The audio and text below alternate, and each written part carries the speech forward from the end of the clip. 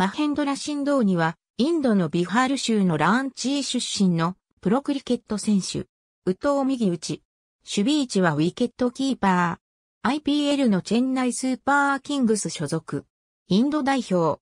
通称 MS ドーニ、MS ドーニー。歴代屈指のクリケット選手の一人。2011年には、インド代表のキャプテンとして、クリケットワールドカップ優勝に貢献。2019年シーズンの IPL での年俸は1億5000万ルピー。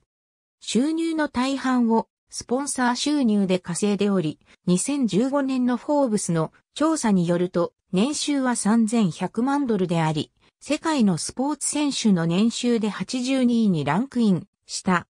インドではクリケットの神様と評されることがあるサチン、テンドルカールや現役で世界最高選手の一人であるビラット・コーリと共に最も人気のある選手の一人、インド国民から大変な尊敬を受けている人物である。2009年には、インドの民間人に贈られる4番目に格式がある、勲章である、パドマシュリー勲章を受章。2018年には3番目に格式がある、勲章であるパドマブーシャン勲章を受章。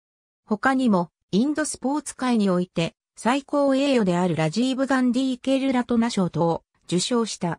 インドでの調査によると、ナレンドラ・モディ首相に次いで、最も賞賛に値する男性2位に選出された。2011年には、タイム誌によって世界で最も影響力のある100人に選出された。2019年の ESPN の調査によると、世界で最も有名なアスリート13位であり、クリケット選手としてビラット・コーリに次ぐ2位。主な受賞、A 点は以下の通りである。ありがとうございます。